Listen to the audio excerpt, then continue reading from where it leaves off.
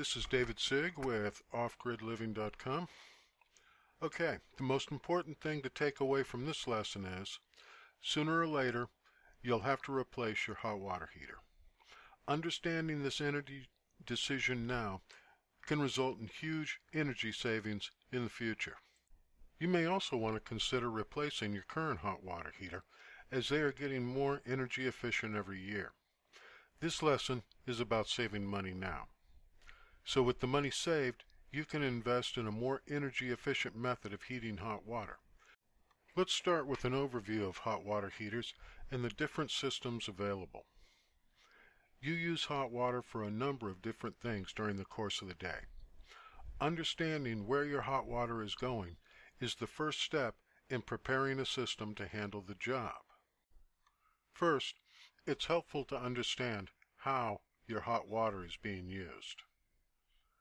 As you can see, washing clothes, bathing, and washing dishes are your biggest hot water expenses.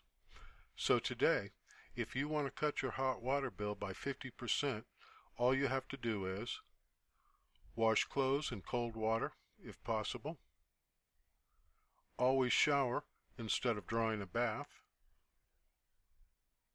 and wash dishes by hand. So what I did was I put the money I was saving, $50 a month in my case, into buying a more efficient hot water system. So to start, in designing your hot water system, you need to take into account the lowest price storage water heater may be the most expensive to operate and maintain over its lifetime or in the long run.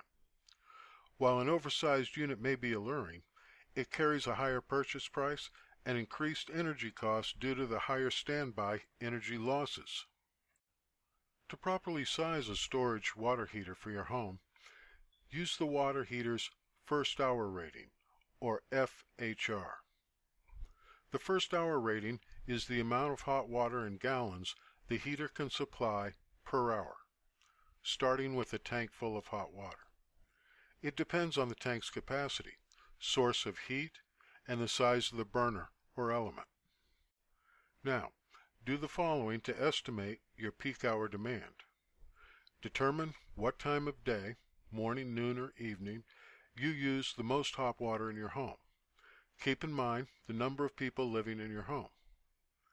Use the worksheet in the PDF to estimate your maximum usage of hot water during this one hour of day. This is your peak hour demand. There's also a worksheet in the PDF handout that'll help you do this. For our purposes, there are two types of hot water systems to consider. A conventional storage hot water heater and a tankless or demand water heater. Conventional storage water heaters remain the most popular type of water heating for your home. They work by drawing cold water into the tank at the bottom heating it, then releasing it through the top of the tank into the piping that leads to your faucets. Tankless water heaters provide hot water only as is needed. They don't produce the standby energy losses associated with storage water heaters, which can save you money.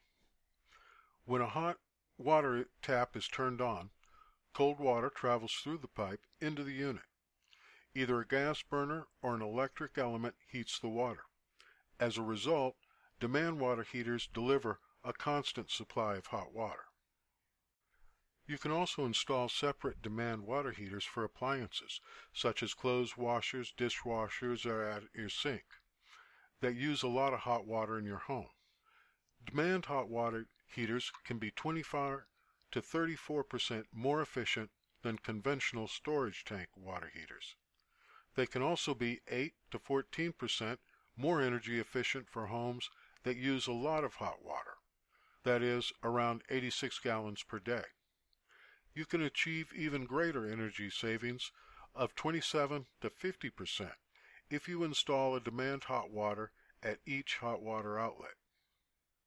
In my own home, I use tankless water heaters stationed under sinks, at the shower, and at the washing machine.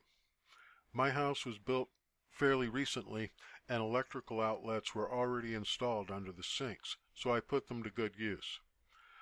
But I typically save at least $100 per month in hot water costs, which means the tankless water heaters paid for themselves in under a year.